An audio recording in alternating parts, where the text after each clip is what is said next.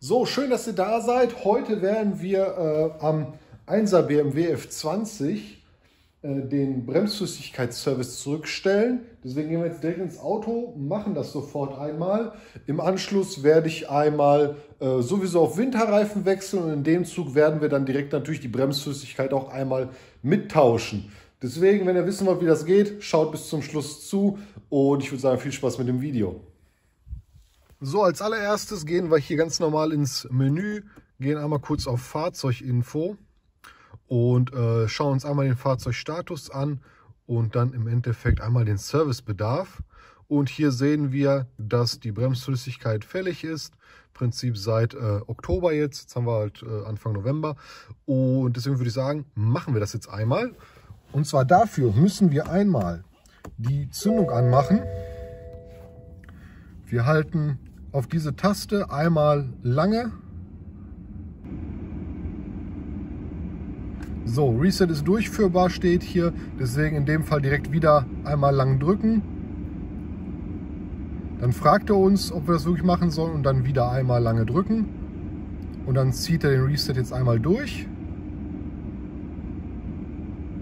Und der Reset war erfolgreich in dem Fall. Ganz easy Sache bei diesen Fahrzeugen. Und was wir jetzt haben hier, ähm, natürlich Fahrzeugservice. Das haben wir ja noch. Öl ist jetzt äh, bald wieder fällig im Oktober nächsten Jahres. Äh, und der, die Bremsflüssigkeit in im Endeffekt wieder zwei Jahren. So, das war es eigentlich schon. Jetzt haben wir hier natürlich im Display auch direkt die Meldung, dass das hier äh, ja, gemacht worden ist und im Endeffekt jetzt einmal Auto anheben, Räder runter und direkt einmal die Bremsflüssigkeit auch tauschen.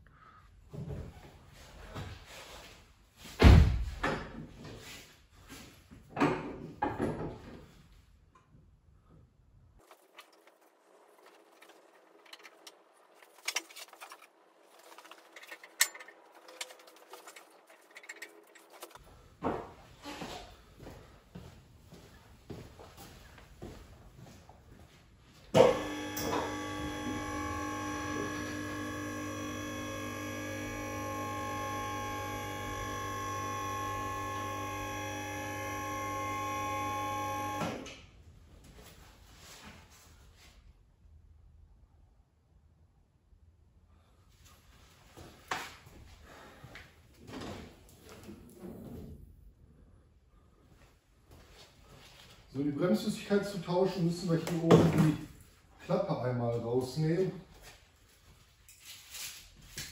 In den Zug natürlich hier so Laub und sowas, wenn hier alles drin liegt, einmal natürlich auch alles rausnehmen.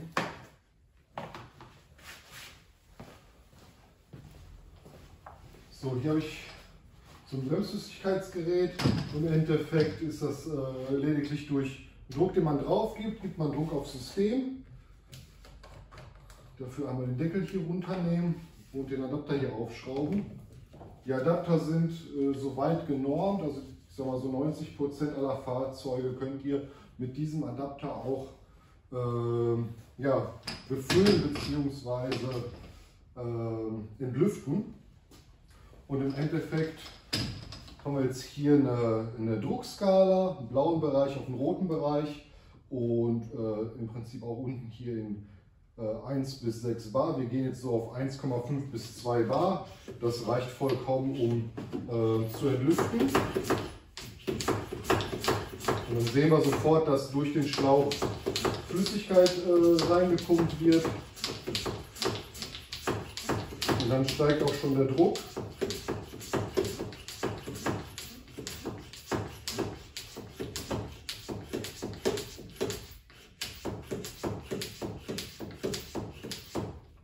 Auf etwas über einem Bar. Das reicht hierfür auf jeden Fall. Und zwischendurch müsst ihr auf jeden Fall nochmal nachpumpen, äh, beziehungsweise Flüssigkeit nachfüllen. Ich habe da jetzt einen guten Liter drin. Äh, das müsste eigentlich ausreichen. So, dann wir das Auto halb hoch an.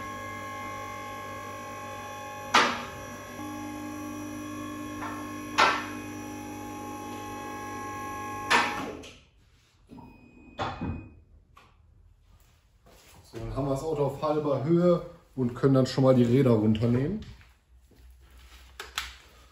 So, wir haben hier ganz normal 17er Radbolzen beim 1er BMW.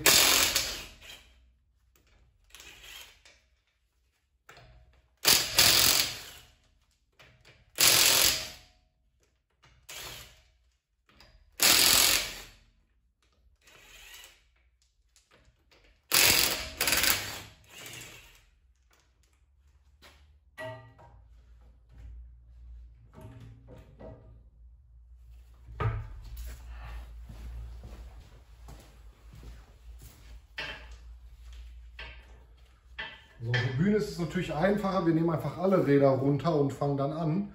Im äh, Normalfall, wenn ihr das nur mit dem Wagenheber eventuell macht, dann müsst ihr halt äh, wie folgt vorgehen. Ihr fangt auf dem längsten Weg zum äh, Bremsflüssigkeitsbehälter an. Das heißt, der längste Weg wäre dann hinten rechts. Das ist auch normaler Ablauf. Hinten rechts fangen wir an. Dann äh, entlüften wir 10, 20 Sekunden. Das reicht im Normalfall, je nachdem wie schnell es rausläuft. Äh, macht man vielleicht mal eine halbe Minute pro, pro Rad. Ähm, dann auf die linke Seite, also hinten links. Dann gehen wir nach vorne rechts, vorne links und dann sind wir durch, was das angeht. So, in dem Fall kontrollieren wir natürlich einmal Bremse, wenn wir schon mal hier sind und einmal den Rest so. Auto hat erst 25 gelaufen, deswegen ist hier auf jeden Fall alles in Ordnung. Bremse ist tipptopp, Bremsbeläge sind super und sonst auch keine Auffälligkeiten, keine ähm, Undichtigkeiten am Stoßdämpfer oder sonstiges, geht man jetzt einfach mal von aus. Ne? Deswegen, aber sonst, wie gesagt, einmal kurz drunter gucken, wenn ihr die Möglichkeit habt. So, hier haben wir die Entlüfterschraube. Da können wir die Kappe einmal so abnehmen. Und dann müssen wir gucken, manchmal ist es ein 10er, manchmal ist es ein 11er. Ich vermute mal, dass es ein 11er ist. Gucken wir mal.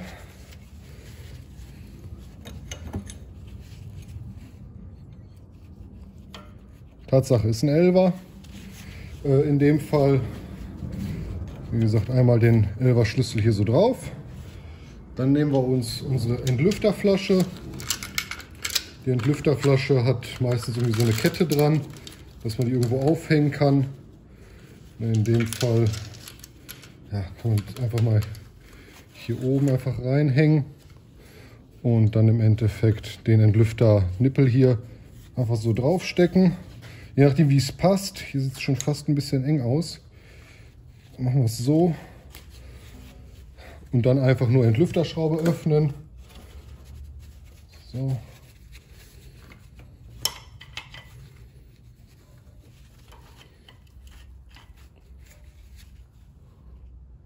Und im Endeffekt einfach nur warten, dass es halt läuft.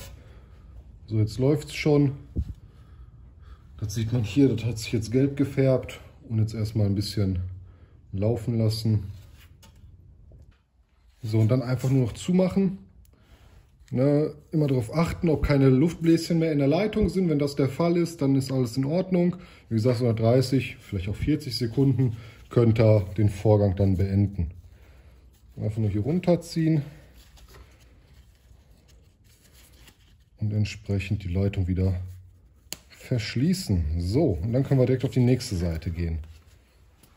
So, beim letzten Rad angekommen. Übrigens, was ich noch äh, empfehlen kann, was ich auch mal gerne mache, ist hier mit so einer Nylonbürste. Die ist jetzt für einen Schlagschrauber, aber die gibt es auch für normale Bohrmaschinen und sowas und, oder halt als Radnabenschleifer. Dann ist das so ein großer Topf.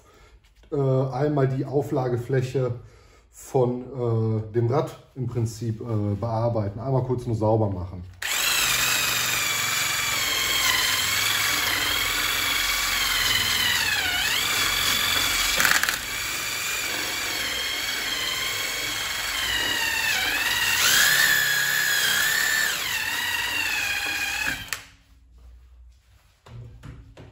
Und reicht schon, damit euch das Rad halt nicht über den Winter festbackt. So, am letzten Rad angekommen. Hier einmal wieder natürlich lösen. Einmal die Flasche hier oben reinhängen. Zack, den Stöpsel hier wieder drauf. Und einmal lösen. Und wieder so gute 30 Sekunden laufen lassen und dann sind wir mit dem Bremsflüssigkeitswechsel soweit durch. Dann kontrollieren wir gleich noch einmal oben den äh, Flüssigkeitsstand, ob wir da eventuell noch äh, was nachfüllen müssten. So, dann einmal natürlich hier, wenn was daneben gegangen ist, mit Bremsenreiniger einmal sauber spritzen. So. Und dann das Winterrad drauf. Da auch immer schauen, also ich tausche die jede Saison um, also im Prinzip immer von vorne nach hinten. So mache ich das immer seit Jahren. Dann hatte den Vorteil, dass sich die äh, Reifen gleichmäßig auch abnutzen. Also dass ihr nicht immer nur eine Achse mehr belastet als die andere und auf einer Achse immer häufiger die Räder wechseln müsst, sondern die sind unter Umständen auf der anderen Achse sehr alte Reifen irgendwann drauf. Ne, deswegen immer gleichmäßig abfahren lassen und am besten, wie gesagt, pro Saison einmal von vorne nach hinten tauschen. Im gleichen Zug natürlich einmal die Lauffläche kontrollieren, gucken, ob da irgendwelche Fremdkörper drin sind, ob da irgendwo ein Nagel drin ist oder eine Schraube oder irgendwie sowas. Und das natürlich irgendwie rausholen, beziehungsweise wenn ein Nagel tief drin ist, natürlich den Reifen entsprechend äh, flicken. Dazu habe ich auch ein Video mal gedreht, könnt ihr euch gerne anschauen. Und äh, ansonsten, wenn das halt zu krass ist, also zu weit außen, hier an der Flanke schon, dann müsst ihr den Reifen auf jeden Fall ersetzen.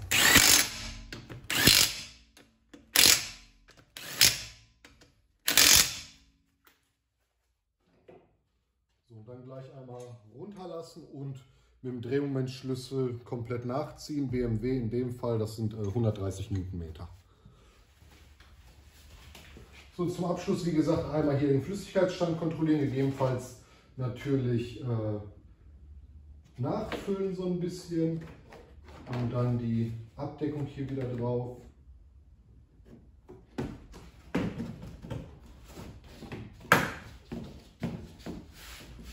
So.